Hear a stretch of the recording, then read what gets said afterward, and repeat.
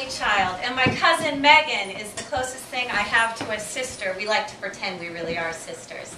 And in January, she was due to give birth to her first baby via C-section on a Monday. I just had to be there. I got an airplane flight to LA to arrive on Sunday to see her have her baby on Monday. I arrived on Sunday, and good news! The baby moved. We don't have to have a C-section anymore.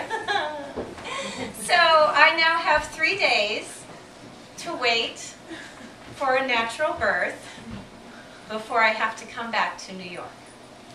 No problem.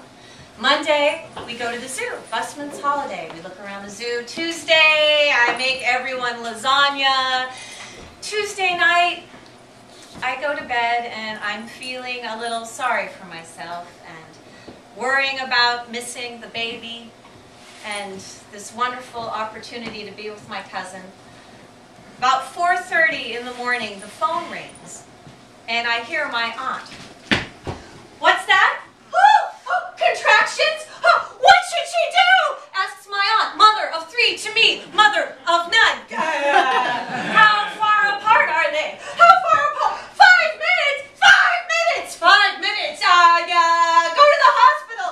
Go to the hospital! We were super excited. so we thought we would go to the hospital and meet Megan and her husband John. One problem, Uncle Gary has taken this moment to go for a bike ride. 4.30 in the morning in LA. It's okay. We'll take showers, we'll get bags ready, we do. And he's still not back. Clearly he's chosen this moment to practice for the Tour de France. And uh, my aunt runs out into the middle of the street. Coo, coo, coo, coo, coo. This is her family lost in a crowd noise. Coo, coo, coo, coo, coo. Still, no Gary. Then the garage door opens. Gary's back. Gary, we're having a baby. Now everyone on the street knows someone's having a baby. then we get Gary into the car. We get to the hospital. 6.30 in the morning. I have six and a half hours before I have to go. Oh. We get in to see my cousin and her husband, and you can tell that the contractions are really hurting her. And so they decide to give her an epidural. It takes them two hours. And we wait. And my cousin's husband comes in, and John looks scared and nervous. They're going to have to do the C-section after all. The baby is just too big.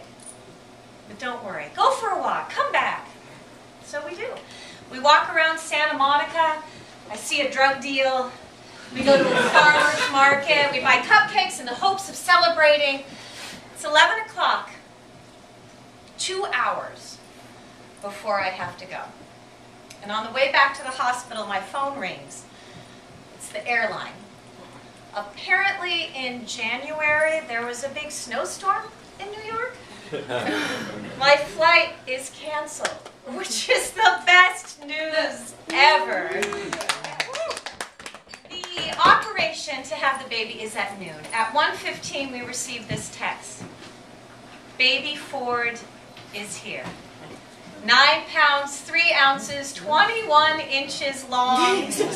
Everyone is well. We laugh, we cry, we call everyone we can think of. And at 2 o'clock, we get to go in and see the baby for the first time. He's super soft. Fate's a funny thing. If I had gone on that airplane flight and there hadn't been a storm, I would have missed seeing the baby by two hours. When I got in to see baby Ford, Megan held him up to me and I got to touch him and she said, Ford wanted to see you. Mm-hmm. he made the snowstorm happen. and we both cried. Thank you.